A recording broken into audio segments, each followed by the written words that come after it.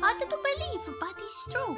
I'm a little mouse, and these wings that you see are really of my own. A fairy gifted them to all the mice in my valley, so that every day we can have great fun.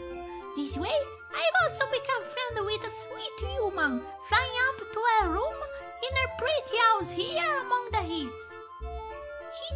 mind if I'm a little mouse. She tells me I'm important to her, and I have value and I believe her.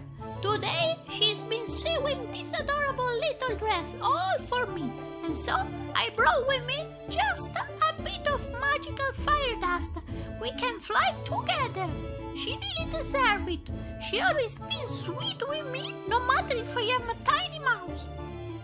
She doesn't mind if I'm a little mouse. She tells me I'm important to her, and I have value and I believe her. Today she's been sewing this adorable little dress all for me, and so I brought with me just a bit of magical fairy dust. We can fly together. She really deserves me. There, I see her at the window. She's yet ready. She was waiting for me. Now we'll go in her garden as we said. We will have done, and we are ready to fly. Oh, for all the cheesecake, my little friend, but this is amazing. I feel so happy and light as a butterfly.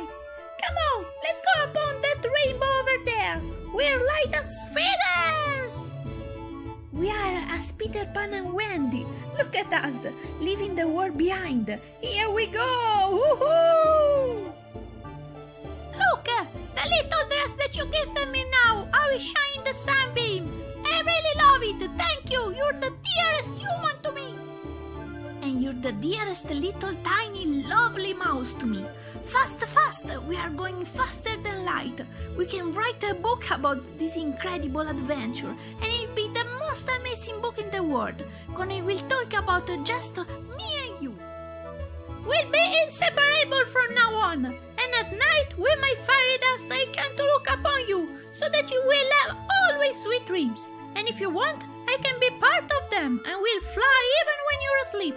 I feel so happy. All the words in the book will not be enough to describe the joy that I feel, cause you can see how much I'm important, even if I'm little, little, and sometimes even smelly. Oh, my dear, what matters is the size of your heart. Even if I'm a human and you're a tiny creature, we are both just two kids that love to play together.